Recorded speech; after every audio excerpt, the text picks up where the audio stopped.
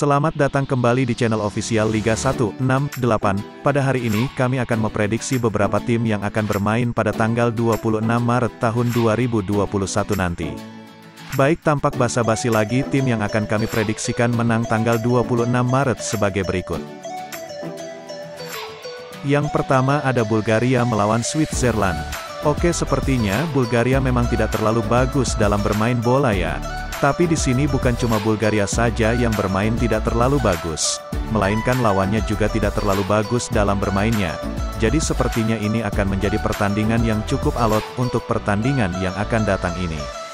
Baik, yang pertama, kita akan melihat lima pertandingan dari Bulgaria terlebih dahulu.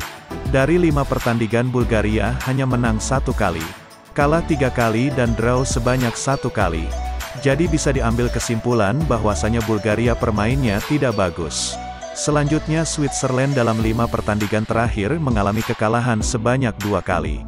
Draw sebanyak dua kali dan menang sebanyak satu kali. Di sini juga kita bisa melihat pertandingan Switzerland juga tidak terlalu bagus ya. Sekarang kita akan melihat head-to-head -head mereka.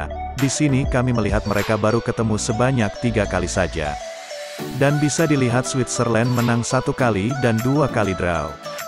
Jadi menurut kami di sini jika Anda ingin betting, Anda bisa betting satu kali dua dan memilih Switzerland sebagai pemenangnya.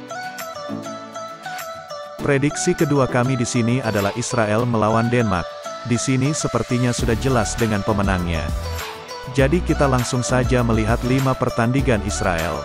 Israel di sini mengalami kekalahan sebanyak dua kali menang sebanyak dua kali dan draw sebanyak satu kali.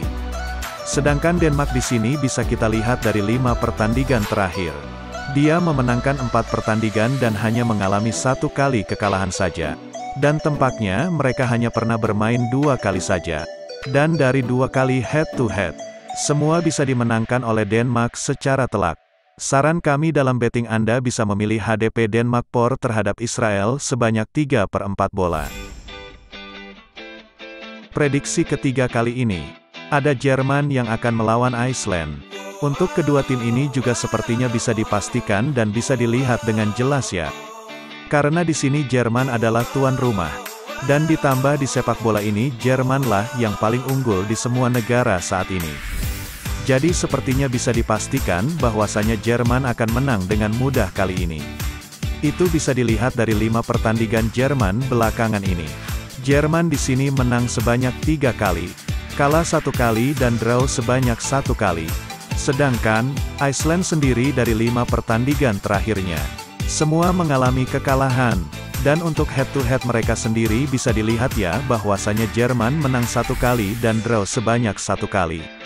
Untuk pasaran yang kami rekomendasikan sendiri Anda bisa memilih HDP Jerman POR terhadap Iceland sebanyak dua bola. Prediksi yang keempat kali ini ada Italia melawan Irland. Di sini Italia sebagai tuan rumah ya. Dan bisa kita lihat di sini Italia juga merupakan negara yang kuat dan bisa bersanding dengan Jerman. Itu semua terbukti di lima pertandingan terakhirnya. Italia menang sebanyak tiga kali dan draw sebanyak dua kali. Di sini bisa kita lihat kalau Italia juga bukan tim kacangan yang bisa diremehkan. Berbeda dengan Italia, Irland dalam lima pertandingannya tidak begitu bagus. Karena dalam lima kali pertandingan Irland tidak pernah menang sekalipun. Dan hanya mengalami draw dan kalah saja. Untuk head-to-head -head mereka sendiri, dari empat kali pertandingan tiga kali dimenangkan oleh Italia dengan telak. Dan hanya pernah sekali draw saja. Untuk pasaran yang ingin kami rekomendasikan kepada Anda, Anda bisa memilih HDP dengan Italia POR terhadap Irland sebanyak dua bola.